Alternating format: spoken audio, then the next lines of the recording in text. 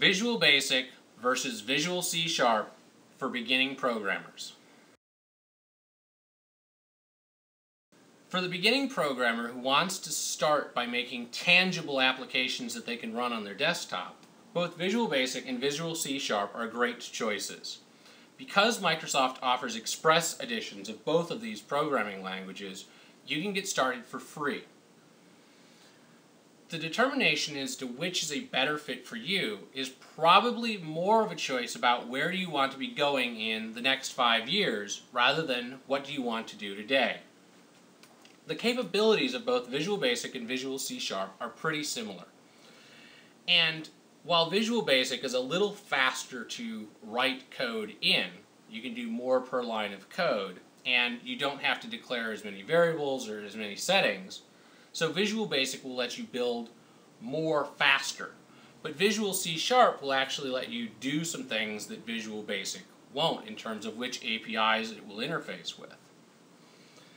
Because of this, you can think of Visual Basic as a great multi-purpose tool.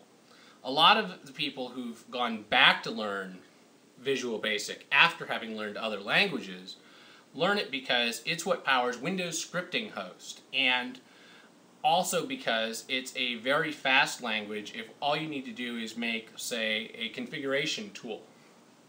If you've got a Windows login script that's going to deploy another application, Visual Basic is a great way to create a form page where a user can enter a bunch of information, push save, and export an XML file that's picked up by another program, or register your document, or determine which installer you're going to run.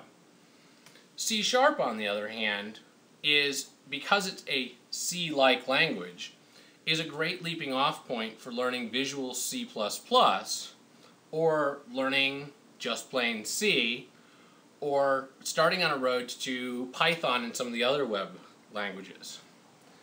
C Sharp is probably the better choice if your end game is to learn to write games or game technologies.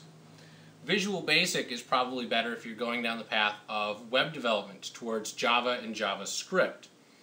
Uh, Visual Basic is also a great language if you're going to be doing a whole bunch of stuff with ASP, which is the Microsoft web language that powers ASP.NET stuff.